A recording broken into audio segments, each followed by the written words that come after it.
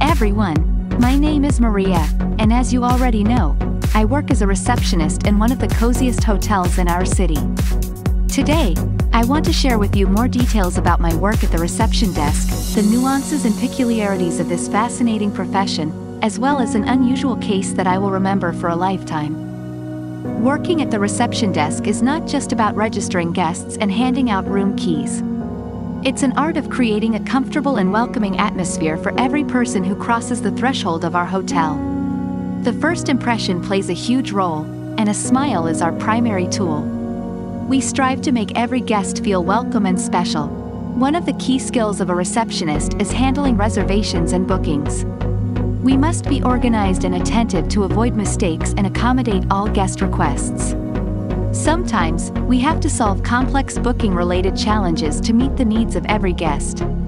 However, working at the reception desk is not just about administration and registration. It's also an opportunity to meet people from all over the world and find common ground with each of them.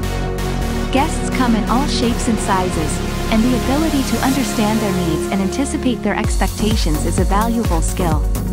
Now, let me tell you about an unusual case that happened at our hotel recently. One beautiful day, a guest named David arrived at our hotel. He turned out to be an artist who had come to our city in search of inspiration for his art.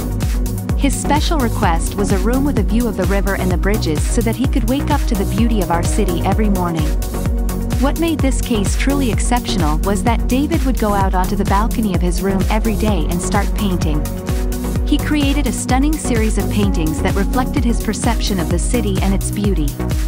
Every time David showed me his works, I was amazed by his talent and how he saw the world around him.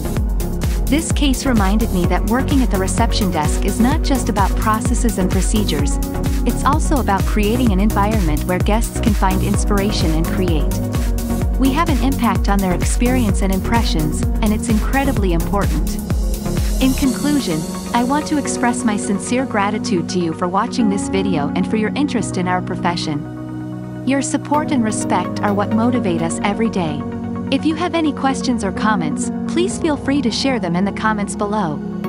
Thank you for your support, and I hope this story has shed light on the world of the reception desk and emphasized the importance of creating an atmosphere of comfort and inspiration for our guests. Don't forget to subscribe to the channel to learn more about our work and profession. Until next time, thank you for your time and attention.